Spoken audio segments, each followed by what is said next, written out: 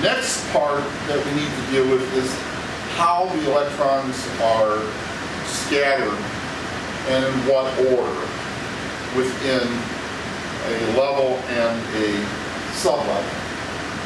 So this is going to involve the last two quantum numbers that we dealt with. Now, refresh your memory, we said there are four quantum numbers, N, L, M, and S. N represents the principal quantum number, which describes the size of the level.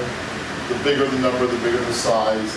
L describes the shape of the orbital that the electron is in, or the path that the electron is in. Those numbers um, are uh, represent zero for spheres, one, which we call s electrons.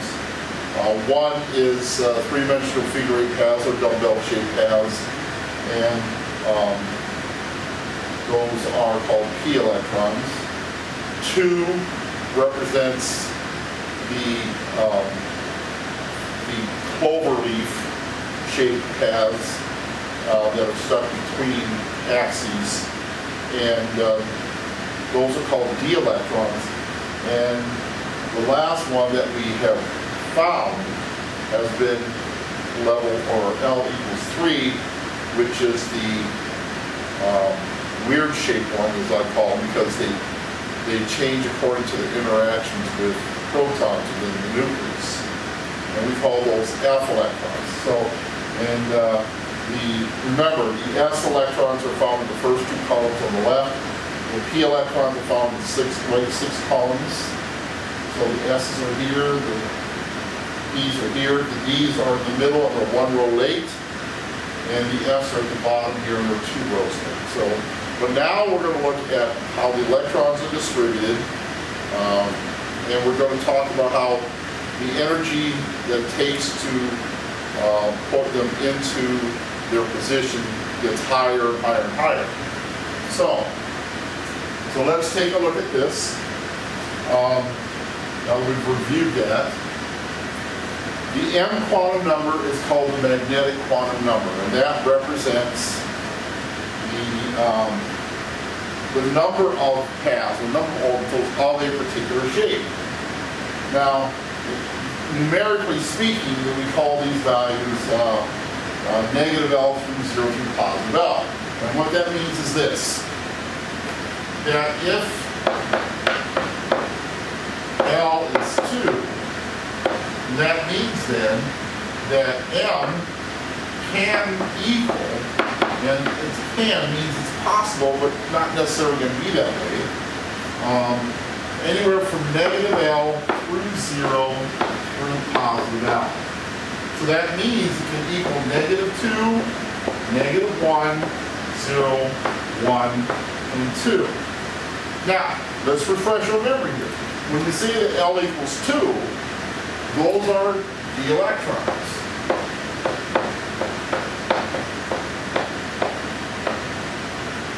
And d electrons are found in this middle 10 area. Well, how many columns do we have in the middle 10 area? We have, well, I just said it like a bajillion times, 10 columns representing the 10 highest energy electrons of each of those elements found in that area. So that brings up the next point, and that is the S quantum number.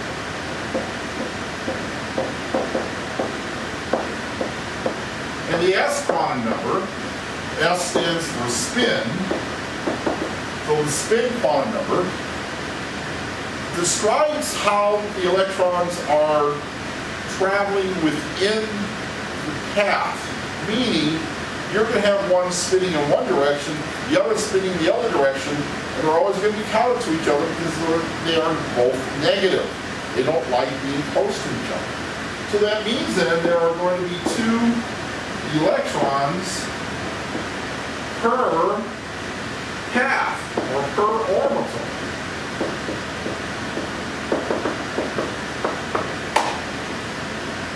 So that means then there's going to be two electrons in the negative 2 path. Now this is, this is the first energy um, cloverleaf. This is the second energy cloverleaf. This is the third, fourth, and fifth. Now, in theory, what is happening is that we're gonna have two electrons for each one, and that's how we're gonna place them. Now, technically, that's not exactly how it works in the, in the real life of moving electrons around, and we're gonna talk about that later on. But for right now, we're just gonna stick with this pattern because it's easy to remember. Particularly when we start dealing with uh, quantum numbers together as a group of four, which is also later. Well, that means to have two electrons in the lowest path, two electrons in the next path, two electrons, two electrons, two electrons, for a total of 10 electrons. And that's why this is there. Okay, so very quickly go over the others besides that, just so you can see how this is going to work. If if n equals 1, that means then L can only be 0. That's the first level sphere.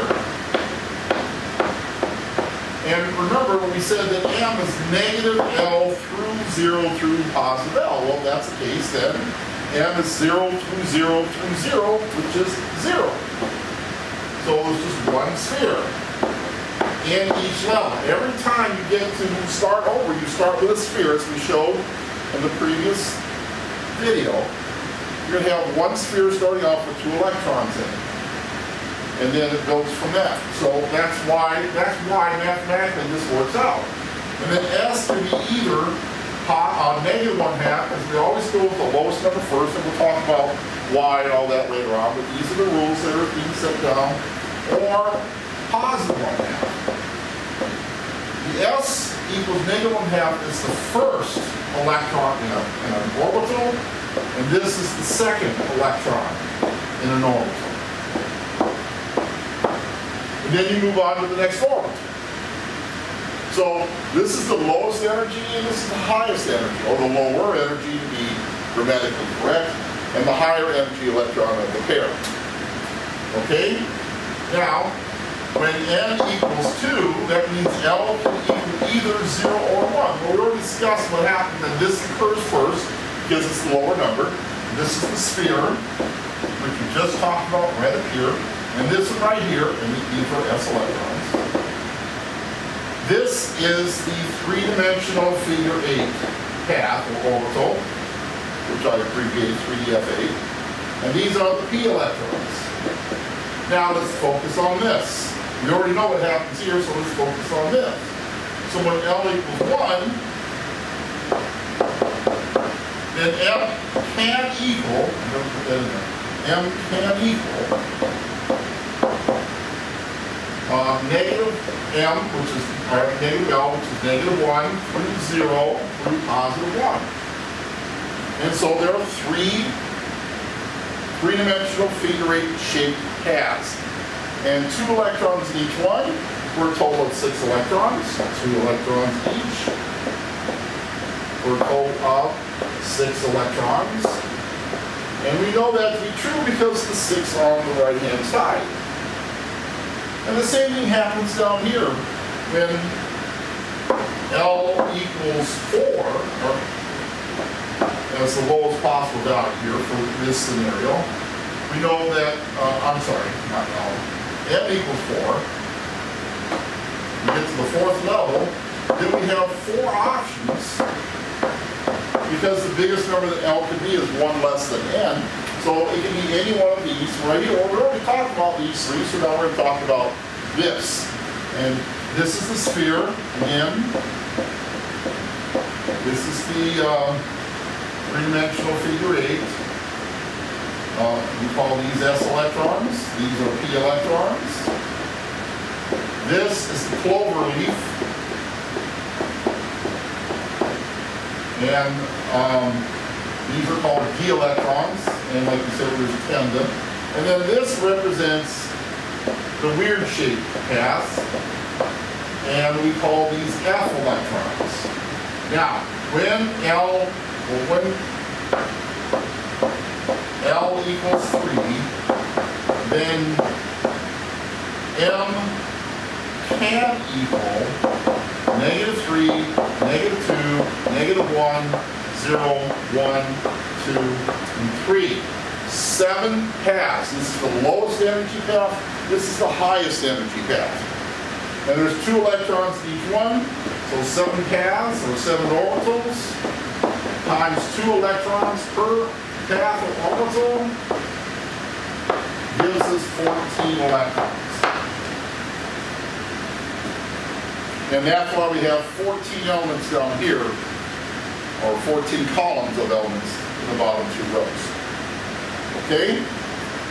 Now, that means that, let's just focus on, on the M now, since we're at that point right here. Uh, remember, lanthanum and actinium, some of you may have periodic charts, we have these holes right here, you fill it up with the lanthanum and actinium. And we're focused on these 14 right now. The first two electrons, one and two, are going to be found right here. So this is going to have electron number one and two. This is going to have electron number three and four. This is going to have electron number five and six, and so on, all the way up to this right here, which is going to have number 13, number 14. Now, the, the first ones will have the lowest energy to be placed into those paths. The 14th will have the highest, and everything else will follow that hierarchy. Okay? And we can, and we can see that right here. Cerium will have the first one. Um, Promethium, or I'm sorry, um, Praseodymium will have the second one. Uh, Neodymium the third. Um, Promethium four. And we keep going up higher and higher and higher in the energy